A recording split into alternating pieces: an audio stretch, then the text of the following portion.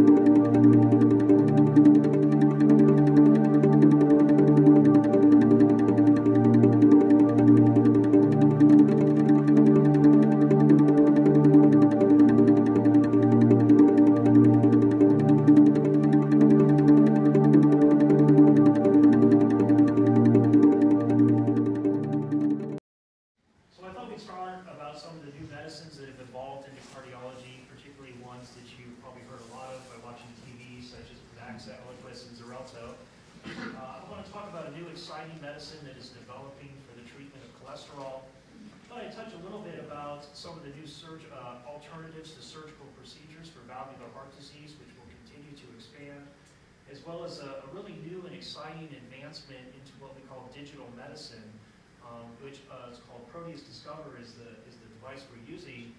And Barton is actually the first hospital in the country to be using this. So uh, a lot of you may be interested in hearing about this. Okay, so I'm going to begin a little bit, just give you a background of what atrial fibrillation is, because chances are some of you in the audience have it, and if you don't, you certainly know people that do. Atrial fibrillation is the most common heart rhythm irregularity we see in cardiology. And what happens is, is normally the heart, you see a normal electrical system on the left, the heart has a very specific pathway that it uses to conduct electrical activity through the heart muscle. And it's this passage of electrical current that causes the heart to squeeze and contract. And normally this is a very rhythmic process. In atrial fibrillation, the top chambers, or otherwise known as the atrium, they lose that rhythmic contraction and begin to fibrillate at very fast rates, 400 to 600 beats a minute. And while they fibrillate, they don't effectively pump out the blood, and particularly on the left upper chamber, the left atrium. And in some instances, that blood can become static in the heart, can form a blood clot, and can break loose and go up to the brain and cause a stroke. Well, not everyone is at risk for that. Not every patient with atrial fibrillation develops a stroke. And over time, we have developed these risk models to determine who's at risk and who isn't. I don't know if you can see from back there, but they, they keep evolving it. It was CHADS in the beginning, now it's evolved into this CHADS2 vascular score, where each one of these risk factors will give you a point. So if you have congestive heart failure, you're going to get a point. If you have hypertension, you have a point, and so on. So we go through each of these criteria to determine what people's risk may be. And what we know is that the more risk factors you get, which is sort of on the x-axis there, your stroke risk starts to increase significantly. And this is an annual stroke risk. So stroke risk percentage on the y-axis, number of risk factors on the x-axis. And you can see by the time you get four to six risk factors, which isn't hard to accumulate if you're over 75, you have hypertension, and maybe you have some coronary artery disease, that you could be dealing with somewhere between a 10 to 15% chance chance per year of having a stroke, and that's cumulative.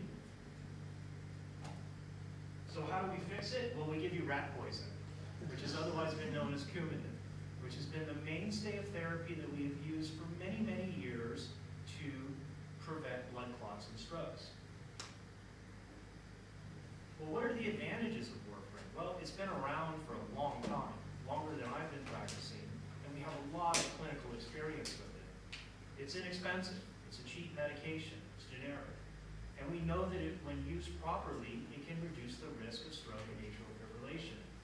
And probably the biggest advantage of it is it can be reversed. So say you're taking this warfarin, this blood thinner for the atrial fibrillation, have some type of trauma where you get injured.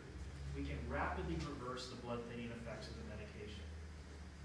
Well, what are the disadvantages? Well, if anyone here has taken Coumadin or knows someone that takes Coumadin, there are certainly a lot of disadvantages to it. The first is that there's no steady state dosing, so I can't just say it's five milligrams every night. You have to fluctuate the dose to maintain the blood thinning levels within a certain range. And sometimes that can be very hard to do, and people can't get in that range or stay in that frequent blood testing. The only way you know that the dose is right is you gotta get your blood tested. So sometimes that can be twice a week until you get the, uh, the regimen stable. It interacts with all kinds of medications, so if you're on warfarin, every time you start a new medicine, you gotta call the doctor and let them know to see if that could interact with the blood levels. And it also interacts with food, particularly everything I'm trying to tell you to eat as a cardiologist, the green leafy vegetables, the healthy diet, anything that contains vitamin K negatively affect the coumadin. So is there a better option? And the answer to me is clearly yes.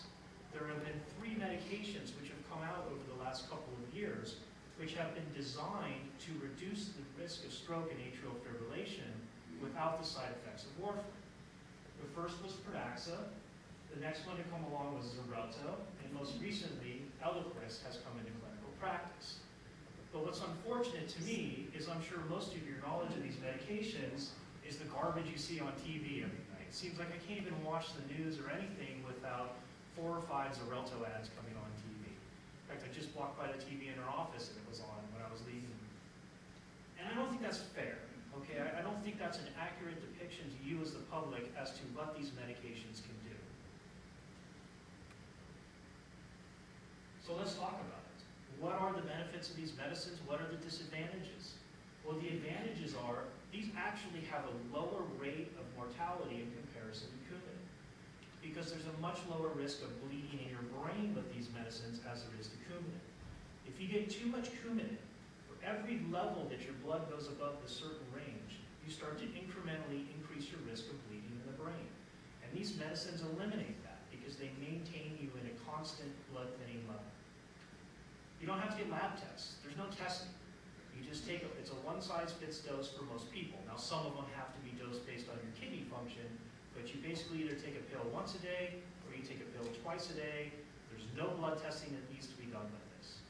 And that's a big deal for a lot of people that have had to go through repetitive blood tests. And it's a big deal for the people that are always getting their blood tested because they can't keep those Coumadin levels in steady range. And it doesn't get affected by diet. So if you're a kale lover, if you're a spinach salad lover, whatever it is, it doesn't affect it like they can with Coumadin. Well, what are the disadvantages to the medicine? Well, we can't use it in certain conditions. It hasn't been studied. So if you have a prosthetic heart valve, I can't use it. Can't use it in pregnancy. Sometimes if you have really bad kidney disease, we can't use the medication. If you don't take it, it doesn't work. So if you miss a dose, the medicine's not working. So you have to be compliant with. Not like Coumadin, where if you may miss a dose, you have a window in there where the medicine is still working. My experience with these medicines is that there is an increased risk of bleeding in the gastrointestinal tract as comparison to Coumadin. And I have seen that with Pradaxa, I have seen that with Xarelto, not as much with Eliquis. They're expensive. So a lot of insurance plans will not cover these medications as a tier one. And I've had a number of people who I've tried to put these on but simply can't afford the medicine, and Coumadin becomes the best option then. You can't reverse them. All right. Now I think they're pretty close to developing an antidote or reversal for Pradaxa. That if you get an injury on these medications, motor vehicle accident, whatever, you bleed until the medication's done doing its effect. Okay? And that's and that is a major downside to these medications. all right, so that's blood thinning and atrial fibrillation. Comparison of what we used, which was warfarin, and the evolution now into these newer oral. So at least now when you see the class action lawsuits, you'll have a better understanding of these are the pros and cons of those medications. Now I want to shift gears into cholesterol. I get more grief about statins than any other medication I prescribe, hands down. I will talk to someone about some potentially life-threatening antiarrhythmic I need to put them on, and I get no problems. As soon as I bring up a statin, it's like everyone's face goes white. And again, I think that's due to a lot of negative publicity regarding these medications.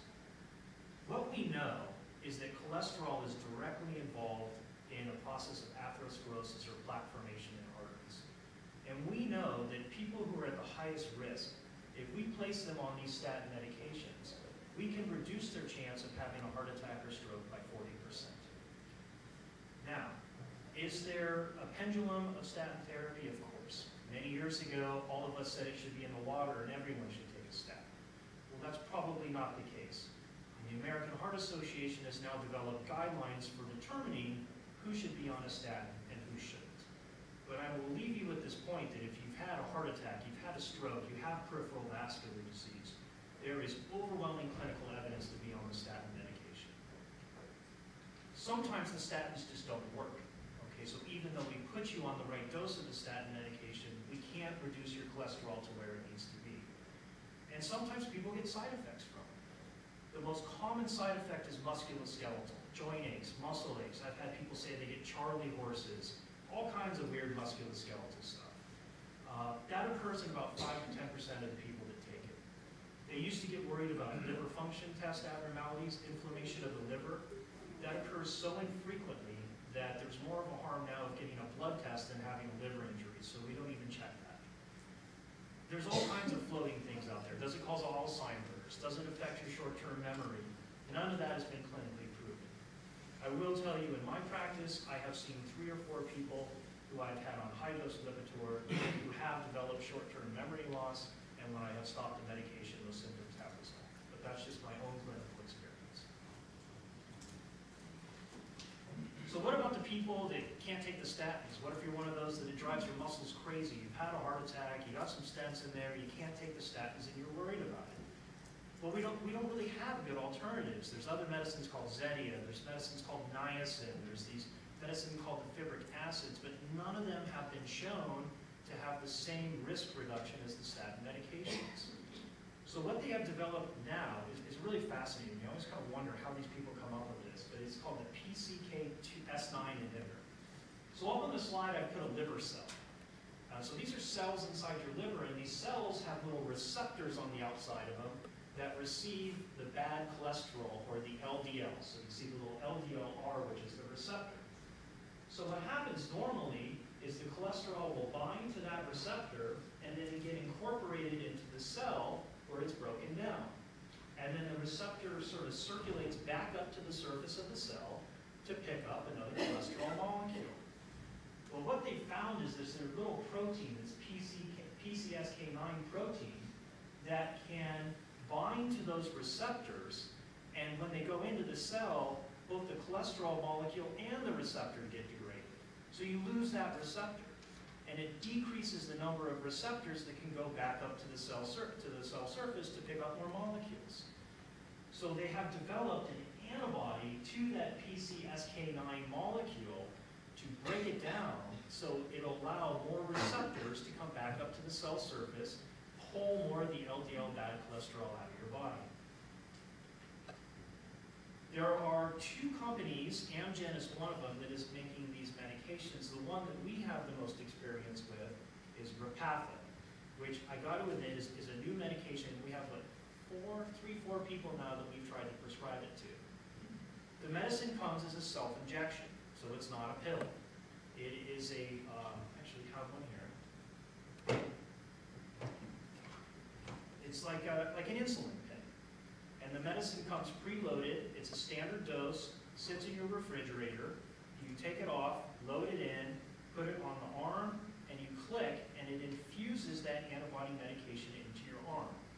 It is a self-injection that is supposed to be given every two weeks. Well, how do we know what it does? Well, we know that if you can take a little statin, but you can't get enough statin to get your cholesterol where it needs to be, if we add the Repatha on top of that, we can reduce your LDL, your bad cholesterol, by an additional 77%. And we know the more you reduce your LDL cholesterol, the lower is your risk of heart attack or stroke. We also found that using some form of a statin, whatever the patient can tolerate, and this Repatha, we can get people's cholesterol over 90% of the time to goal therapy. There are only a couple patient populations at this point that are approved for the medicine. The first is if you have some type of atherosclerotic disease, heart attack, stroke, peripheral vascular disease, whatever, and the statins aren't effective, and there's some gray zone in there. Maybe you can't tolerate a statin, so therefore the statin's not effective. Or maybe you can only tolerate a low dose and it's not effective. Whatever the case is, that's one patient population this is indicated for. The other is people that have familial problems with their cholesterol, some genetic pattern of passed down abnormalities in cholesterol metabolism. Well, what are the side effects? I mean, everyone's concerned about the side effects of the statins. What are the side effects of this medicine? Well, they're really pretty benign so far. The most published side effect, which occurs in about 10% of the people, is an upper respiratory infection. Kind of flu, you know, cold, runny nose, sore throat. Muscle aches, the joint aches, the potential for liver injury, the, al- it cause Alzheimer's, does it cause cancer. None of that has been found with this medication so far. Well, what are the downsides? Well, it's a new medicine and we need more outcome data. I think the important thing when you take any medication is, forget about the numbers. Who cares if your cholesterol goes from 200 to 150? Just taking that medicine every day reduce your chance of having a heart attack, stroke, or dying from cardiovascular disease. And the ongoing clinical trials just aren't published yet for this medication. All right, so I'm going to break off the medications there. New treatments for atrial fibrillation, the evolving therapies for treating cholesterol when statins don't work. Well, let's talk about a little bit about how things have been advancing in our cardiac catheterization lab. One of the, this is a diagram of your heart here, and what I've illustrated in the middle is called your aortic valve. The aortic valve is very important because it separates your left ventricle, which is the main pumping chamber of your heart, from your aorta, which is the main blood vessel. And its function is when the heart squeezes the blood forward, it opens up to let all the blood out. And then when the heart's done squeezing, it closes shut to prevent the blood from leaking back into the left ventricle. So you can see here on the top, when the heart opens, the valve leaflets open, and when it's done contracting, the leaflet should close, sort of similar to a Mercedes-Benz sign. But you can have all kinds of problems with your aortic valve. And one of the most common conditions that we see with the aortic valve is a condition called aortic stenosis. So as you age, particularly if you've had a history of high blood pressure, and you've had high cholesterol, and you've had sort of this chronic damage and irritation to the heart valve structure, it can start to build calcium. You get little calcium nodules that build up on the valve. And as those nodules continue to build and continue to build, they start to deform the valve and prevent it from opening. And that condition is called aortic stenosis or aortic narrowing. And it can produce a lot of problems in people. As it gets to be severely narrowed, you can get short of breath with activity. You can feel lightheaded and dizzy with activity. And you can get chest pain, not because it's an artery problem, but because when you walk, the heart's got to pump so hard to get blood through that narrowed valve that you can't get enough blood and oxygen to the heart muscle. So when it becomes severely narrowed, and when you develop symptoms from it, what do we do about it? Well, we replace it. And to this point, the mainstay of therapy has been surgical replacement of the valve. So open heart surgery. You make an incision down the midline of the chest, the sternum is sawed open, the chest cavity is cracked open, and the heart sac is opened, the aorta is exposed, the bad valve is cut out, and the new valve is there's mainly two types of valves that we use. Sometimes we use the mechanical valves, and sometimes we use the tissue valves, depending on which patient we're operating. Well, no one wants to go through this. No one I tell you got to have aortic valve surgery is like, oh, that sounds great. It's, you know, it's, it's a hard procedure to go through. And there's a lot of morbidity and mortality that can be associated with these procedures. It's a long recovery. It can be four to six weeks after surgery before you're back up on your feet, feeling sort of normal. And sometimes people are just too high risk. So maybe, you know, since this is a disease of individuals, sometimes they already have organs that are dysfunctional. So they got chronic kidney disease. Their kidneys don't work as well because the blood pressure and the cholesterol has affected the kidneys. And we always worry about that when we put them on cardiopulmonary bypass. Is that going to cause more damage to the kidneys? A lot of times this occurs in smokers, so they may have some COPD or underlying lung disease, affect how long they're on a ventilator for the surgery. Sometimes they have associated neurological disease. They've already had a stroke. They've got an occluded carotid artery, and we're putting on bypass and affecting blood flow. And sometimes people are just, they're just too old, too frail to go through a surgery like that. It's too demanding on your body. Sometimes people, we have technical limitations, so we can't open the aorta because there's so much calcium, they call that a porcelain aorta that's built up there that you can't cut into it, too thick, it's like a calcified pipe. They define people as high risk is if your surgical risk, your risk of dying during the operation in the hospital is over 15%. Then they say you're too high risk for this operation and they won't do. So what happens to those people? You just send them out to the field and say, good luck, you're gonna die, you know, let me know what I can do? And up until recently, the answer was just sort of yes.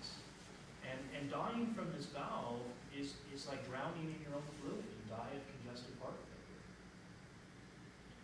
So they have now developed ways to replace this valve without surgery. And it's called trans, transcatheter aortic valve replacement, or most of us call it TAVR for short. So what happens is it, it's sort of replaced like an angiogram. I'll try and illustrate up here and see if you can see back there. But for any of you guys that have had angiograms, know what we do is we put an IV into what we call the femoral artery, which is sort of right here in the groin. And we put a sheath in there, which is sort of a big IV that we can access. And they put a special catheter in, which then goes up through the femoral artery into the aorta, wraps up and around the heart, and to where the valve is positioned in the area of the narrowed valve. And these valves, that you have two types, they have ones that you balloon expand or that self-expand, are then inflated in the area where the diseased valve is, giving you a new valve. So no longer are you requiring open heart surgery. No longer do you have the morbidity and mortality associated with the open heart surgery. You have an access site to your femoral artery.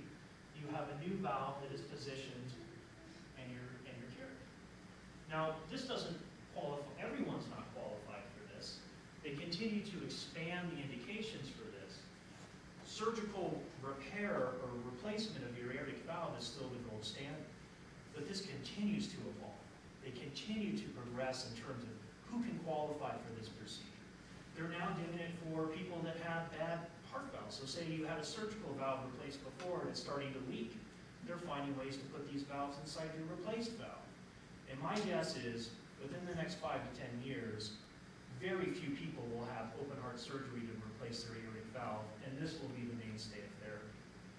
We used to only have one valve that we could use, and the limitations was how, how big the artery was, because sometimes these people have such bad vascular disease, and you have a narrow little diseased artery that you just you can't get a big enough IV in there to get up there. So there were a lot of vascular complications. So then they developed ways, we called it the valve on a stick, because they could puncture uh, through a thoracotomy here and go up through the apex of the ventricle, sort of going forward up there in the play. This is called the retrograde technique, and now that they have a series of different valve sizes, has become the gold standard. One of my colleagues that I trained with at Scripps now works down at UC Davis and has done this procedure on a number of our patients, and they've done fantastic. Done just great. And they were too sick They couldn't have open heart surgery.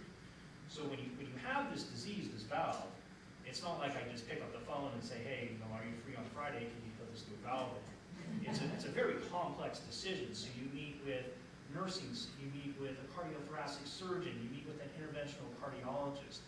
So there's whole teams of people that evaluate these people to make sure they're appropriate candidates. The major downside to these valves is if you don't seat it right and it leaks, that's a bad outcome. So you got to get the valve, you got to get the right size, and you got to get it seated in there perfectly.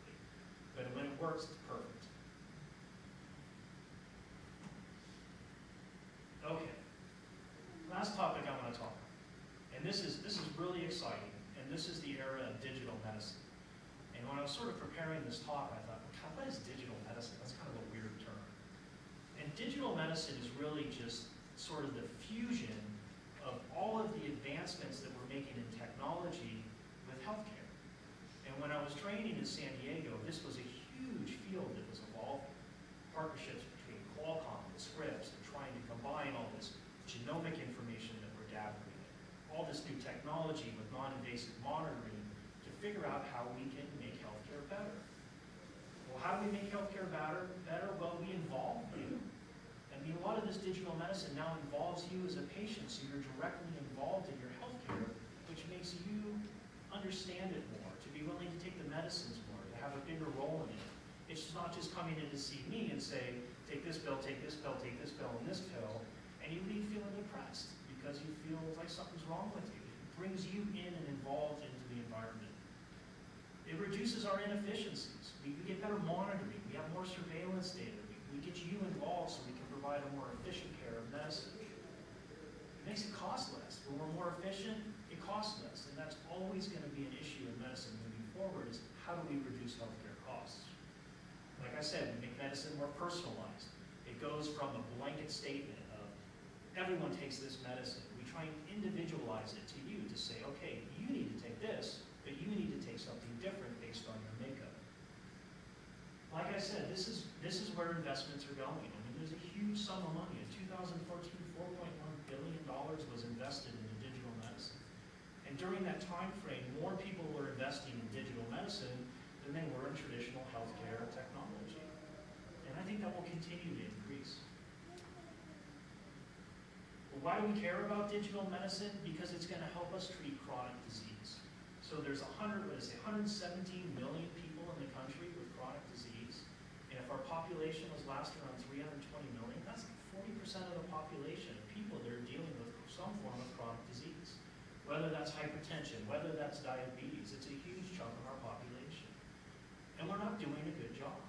50% of those people were not controlling the disease process right with our traditional medical therapies. And we find a lot of time, people don't take their meds. It's not fun taking meds. No one likes to take meds. And we're not doing a good job of getting people on the right medications to reduce the complications of that chronic disease. So that's where Proteus Discover comes in. We're taking the technology, which is advanced, and we're taking healthcare and we're fusing you empowered as a patient so we can reduce the morbidity and mortality associated with this chronic disease. Well, how does it work? Actually, I'm going to pass this around because I brought a sample kit from my office, and I'll let you guys sort of send it around. So it's, it's fascinating technology to me. So the main, the first thing you do is you take a medication which has a chip in it. It is about the size of a grain of sand, and it's made sort of, min of minerals you find in copper, magnesium. So we have a series of medications that have these chips in them. And you take the medicine like you're supposed to, like you're prescribed, and it records when you ingest the medication and when it hits your stomach, because the acid, when it hits the, the, the pill with the sensor, sends a signal to a patch that you wear on your stomach. Small wearable patch right there. And you'll see when it passes around, the patch is right there. And all of these are safe and been evaluated by the FDA. Well, what happens when, you, when it hits the patch? So you, you take the pill, you go in to see your doctor, he says, listen, you got high blood pressure, I'm gonna put you on this medication. You get the medicine which has the little sensor in it. You go home, you take the medicine, it hits your stomach acid, it sends the signal to the patch. It's then transmitted to an iPad that you have. So the iPad records, okay, this is when you took the medication. And then the iPad will automatically upload the information to a server, which then transmits it to a portal that I have in my office where I can remotely monitor it. And this is what you get. So you guys, when you have your app on the iPhone, you're getting when your medications are meant to be, your list of medicines, when they're meant to be taken, if you miss them, if you don't miss them. You get to put in your activity, so it automatically records how many steps you're doing. So I can get an idea to say, hey, listen, you got to pick up your activity. You're not doing enough, and if you pick up your activity, that may help reduce your medications and your cholesterol needs. It records your rest, so it knows when you're sort of what position you're in, and it records your sleeping patterns, which they've used for people who are, who are depressed. So sometimes they can see, gosh, you know, you're sleeping a lot. Maybe these depression medicines aren't working for you. Um, you can input your blood pressure. So in this device, you can, you take your medicine. You say, 8 o'clock, I took my medicine. Here's what my blood pressure was. And you input that, and then I can monitor that remotely. Um, and then you, you can put in your weight. Okay, so you can see, okay, you know, my weight's coming down, my blood pressure is this. It allows you to be involved and input all this information in. So it's not just me saying, take this pill, come back and see me in six weeks, we'll see if it's working. Because that, that really isn't working. We know that isn't working. And then again, as a physician, I have this cool portal. So I can spy on you. Yeah, yeah, yeah, it's kind of a smirk, huh? So, so here's what you guys see as a patient. I'm sorry for the small screen, it's kind of hard to see, but, you know, you open this app that's on your iPad, and here's all of your information. It tells you if your sensor's working, it asks you if you've missed any meds. Up here, it tells you, okay, here's the medicines you're supposed to be taking. You're taking 20 milligrams of lisinopril, 5 milligrams of amlodipine, and 20 milligrams of atorvastatin. Here's when you're supposed to take it. It gives a dot if it registered, you took it, and it will give a blank one if you didn't take it, and that's something I need to look at. It tells you, here's your activity. Okay, you've done 3,562 steps, but we're supposed to be getting to 10,000. We got to pick up our activity level to get there. But again, second page, tells you when you took your medicines, how many steps you got going, in, and it tells me how much time you're resting, too, which can be important, important for certain disease states. And then this is what I get to see as a physician. So I pull up this portal in my office, and then I can thumb through and say, oh, patient X has got a 20% adherence rate. I better call them and see what's going on. Or I better bring them into the office because they're not taking their medications. What's the problem? And sometimes I would never know this. I mean, you may come into the office, I see, I see some people every three months, some people every six months. They say, oh, look, your blood pressure looks okay, and off you go. And, and this way, I have, I have all this information that I can gather now to make sure we're treating you appropriately. So let's look at a case example. Let's, let's see how this works. So this is a case example, just, just call the patient named Karen. And it's a 73-year-old woman with chronic disease. She's got high blood pressure, she has type 2 diabetes, she's got high cholesterol, and she's depressed. And she's having a hard time taking medications. A lot of people do. I mean, you get depressed when you look in your pill box and you've got 15 pills to take for this chronic disease. And she wants help. So her provider says, hey, look at this technology we have. Let me utilize this technology to see if we can help you become compliant with your medications. And the patient's excited. They want to be, patients want to be involved in their health care. No one likes being lectured and told what to do when they don't understand it. They want to be involved. So she gets involved in this. She registers with the Proteus Discover for medications. They pick three medications off the panel, the ones that she needs, and starts to administer. And everything's going good, but then, but then she calls the doctor and says, hey, listen, I'm feeling a little lightheaded. And if someone comes in to me and says, hey, I'm feeling lightheaded, well, well, what does that mean? Does it mean that they have occlusion in their carotid arteries? Are they having problems with blood flow to their heart? Are they having valvular heart disease? Are they having intermittent heart rhythm disorders? And that sometimes, you know, involves all this testing so we can figure out what the root cause of this is. But let's look at her profile that came out. So I get the information back and pull it up. I can see, well, she's taking all of her meds. Okay, so she's compliant, taking her medications. It tells me she's taking the hydrochlorothiazide, the water pill, 90% of the time. She's taking her other blood pressure medicine, the losartan, 90% of the time. Pretty good about taking the metformin 50%, or metformin 81% of the time. Tells me that she's pretty good at taking the medicines when she's supposed to. So sometimes you always wonder, is someone lightheaded because they're throwing all their medicines into one pile and swallowing them at 9 o'clock at night? And maybe that's too much for her. But now I know they're being administered properly. She's taking them as she's supposed to with pretty good compliance rates. Probably not active as much as she should, but getting 30 minutes a day, so we'll take that. The sleep patterns are normal. Her heart rate's normal. Her average heart rate's normal, so it's not that she has too slow a heart rate that's making. But then I can pull up her blood pressure logs. And lo and behold, she has high, she has low blood pressures. So she's getting blood pressures down 99 over 58. So that clues me in as a doctor, well, she's taking her meds like she's supposed to, at the right time. She's doing the activities she'd like to. I'm probably over-medicating her. And I can pull that information out, and I can see, let's back down on your hydrochlorothiazide to see if the symptoms go away. And I may never have known that. Came into the office and was 115 over 80? I'd say, God, your blood pressure looks good. I don't, I don't think it's your medicines that's causing that. But because we have this data, it allows me to treat her. So the lightheadedness goes away. And with the lightheadedness going away, her symptoms go away. And then I don't have to worry about her getting lightheaded, hypotensive, and falling and sustaining some other type of injury. And by bringing the patient in, so getting her on this, you took someone who was hypertensive, didn't want to take their meds, was depressed, and putting them on this Proteus Discover, where you've involved them in their healthcare, look what you've been able to do. You've taken an initial blood pressure from 169 over 85, four weeks later down to 116 over 76. Much better. Reducing the mortality and morbidity from the chronic disease. You got, you lost four pounds, and four pounds is four pounds, I mean, that's good. You got her activity up, so she can, can log in and say, look, I'm supposed to get a half hour activity a day, I'm doing it, I'm getting my steps, I'm doing what I'm supposed to do, and I'm, and I'm losing weight. You get her cholesterol better, so you can't really see back there, but her total cholesterol goes from 200 to 193, which is good. Lower cholesterol better. So a perfect example of someone who was not, it wasn't working, the system wasn't working, wasn't able to take the meds, felt depressed. Involving them with the digital medicine, using the Proteus Discover, and look at the remarkable outcomes you get weeks later. And this is just one person. I don't know how many, I think we enrolled over 300 patients at Barton so far with this technology. Yeah. How does the information get um, into the iPad as far as like for blood pressure and? Uh, it's, I think it's manual.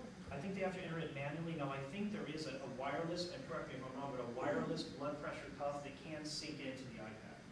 But I think so far people are doing it with manual entry, with weight and blood pressure, which is important. So I will tell people, if you're going to do that, one of my pet peeves is blood pressure cuffs because they are notoriously inaccurate, particularly the wrist ones. So all of my patients, whenever they buy a blood pressure cuff, where you can CVS, whatever, I always have them bring it into the office, and we check their blood pressure with the cuff against the manual recording on the wall to make sure that they're accurate. Because a lot of this, and they know how to use it.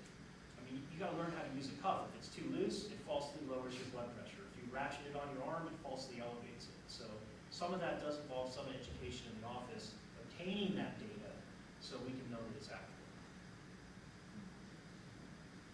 All right, I got one more thing to talk about, because this was a personal request, um, and it had to do with uh, shoveling snow, which we've had to do a fair amount of this year. And, and, and how it, on the East Coast especially, uh, and how that can hurt your heart? And it was really interesting, so I started looking into this. I had a pretty good idea of what, what was going on, so like, I better look into it a little bit. And I didn't know that there were eleven thousand ER visits a year for snow shoveling incidents, of which the vast majority are orthopedic, and I can really believe that after I feel my back shoveling. So about seven percent of those are heart attacks, however. So seven percent of those eleven thousand people come in because of heart attacks related to shoveling snow.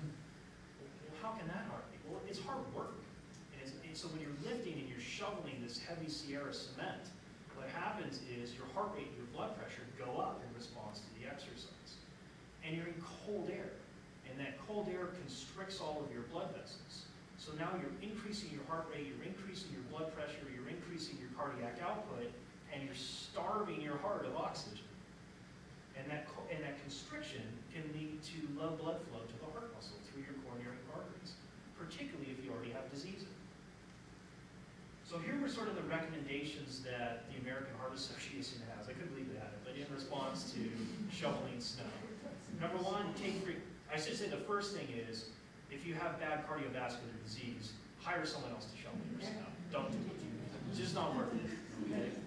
But if, if you're gonna do it, you gotta take a lot of breaks, okay? So take frequent breaks. Shovel for a few minutes, take a break. Shovel for a few minutes, take a break. Number two, don't eat a big dinner where all the blood has gone to your gut and then jump out and shovel snow, because that's a recipe for disaster. Get a smaller shovel. You know, don't try and get the huge shovel, lift a huge slab of snow. Smaller shovels, more shoveling, more breaks. Don't drink any alcohol before you go out, because it gives you sort of a false sense of warmth, and you can start to suffer the effects of hypothermia. And you gotta listen to your body. If you're out there shoveling snow and you're getting lightheaded, you're getting you're getting tightness, pressure, heaviness in your chest, you're feeling short of breath, it's time to stop, don't shovel any more snow, and come see us and let us check you out. Oh, I don't know if you can see the cartoon, I thought this one funny, so it's, they're talking to the Tin Man, and they said, you know, if I give you a heart, you'll have to start watching the cholesterol. So I think that's all I have tonight, and I'd be happy to answer any questions. Yes, sir? I, I read an article that suggested an additional problem with shoveling might be you're working your arms a great deal, but possibly not your legs as much. Yeah, yeah, yeah. For the orthopedic injuries, get, It's like lifting anything, they tell you to lift with your legs, but it's, uh, no one does.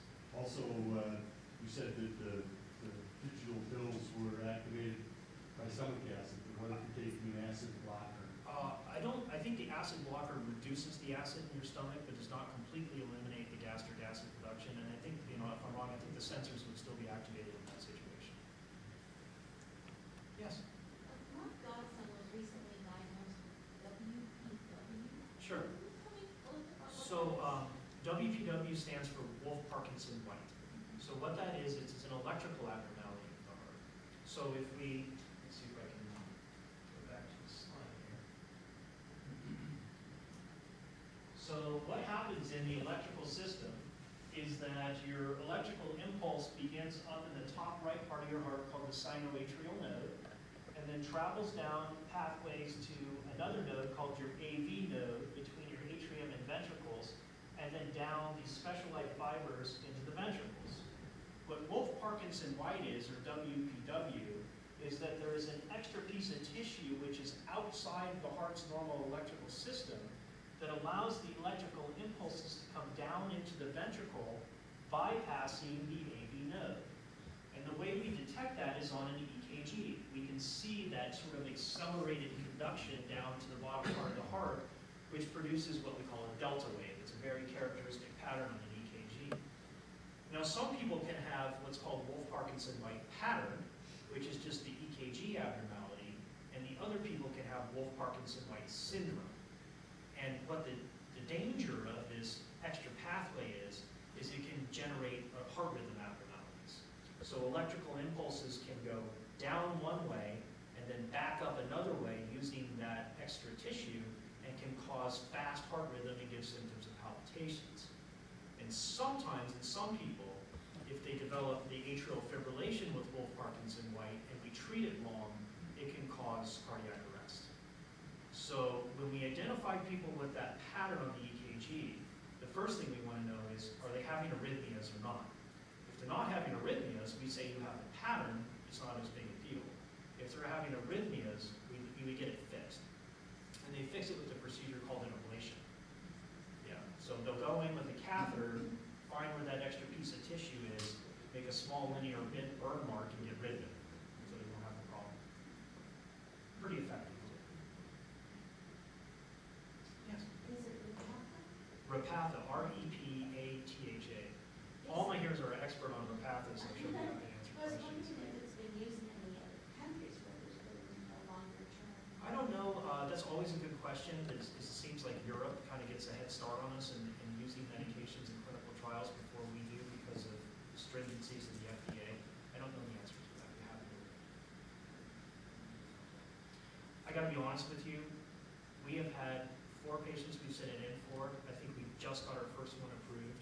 It's been a logistical nightmare with insurance companies to get it approved because of the medication and its expense. So, yeah, it's a brand new medicine.